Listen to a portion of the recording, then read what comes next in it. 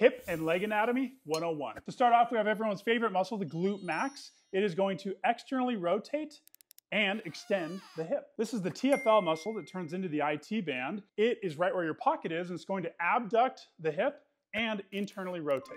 Here we have the three hamstring muscles. We have the semitendinosus. Underneath it is a semimembranosus, and then we have the biceps femoris. They are going to flex the knee and extend the hip.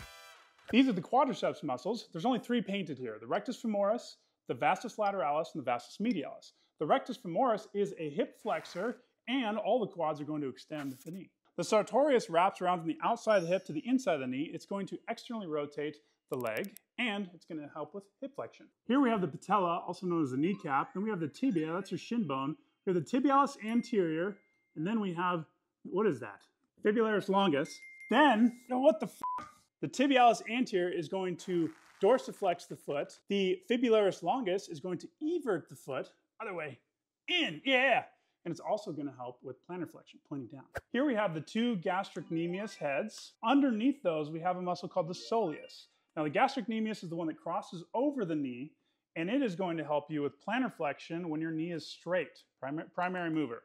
Then if you were to sit down, do like a seated calf raise, the soleus is going to be the primary mover when the knee is bent. We decided to cut the hamstrings and the calves because when you squat down, those two are gonna meet and the paint will transfer. So we cut them there.